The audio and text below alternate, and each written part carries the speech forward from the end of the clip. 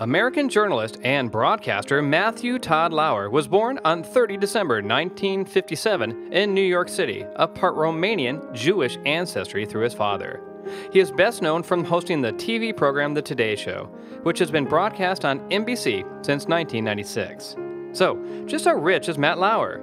Celebrity.money has estimated that Matt possesses a net worth of over $70 million, the majority of his wealth having been earned from his work on various TV shows and stations during a career which began in the late 1970s.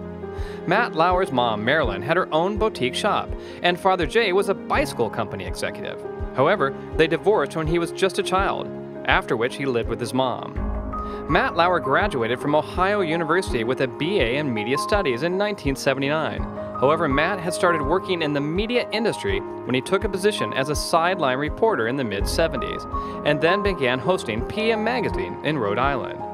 Matt Lauer became known as a host of many TV talk shows, including Richmond, Providence, Boston, and Philadelphia.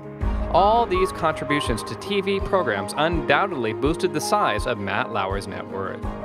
In 1979, Matt began working as a producer and presenter of late night news on WOWK TV in West Virginia and soon afterwards secured a job on 9 Broadcast Plaza, a live interview show.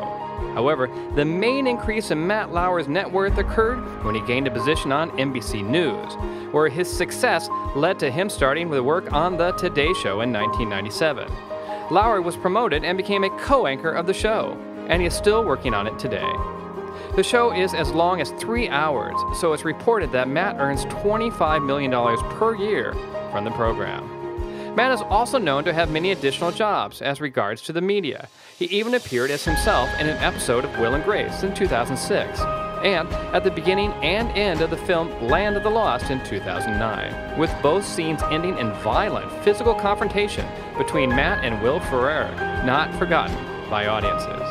Again, he appeared as himself in the TV movies Sharknado 2, the second one, and Sharknado 3, Oh Hell No, in 2014 and 15. As regards to his personal life, Matt married for the first time in 1981 to producer Nancy Alspaugh, but they divorced in 1988.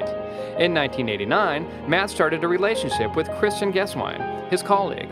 However, the couple broke up in 1996. Matt married Annette Roque, a model from the Netherlands, in 1998. The couple has three children and reside in New Haven, New York.